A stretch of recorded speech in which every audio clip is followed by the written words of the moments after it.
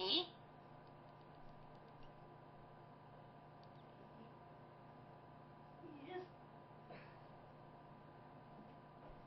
you just come and talk to the bird. Just talk to him. He wants to talk to you. I don't know what he wants to say. But he keeps telling me he wants to talk to you. You look like a pretty big bird.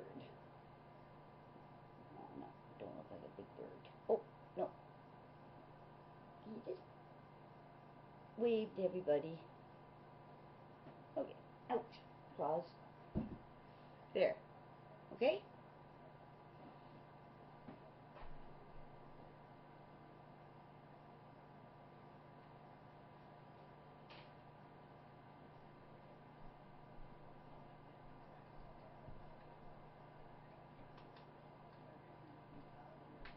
Uh-oh.